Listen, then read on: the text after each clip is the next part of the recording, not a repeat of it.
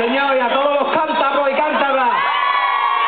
De verdad que, que uno viene a esta tierra y viene sabiendo seguro que se lo va a pasar bien. De verdad que sí.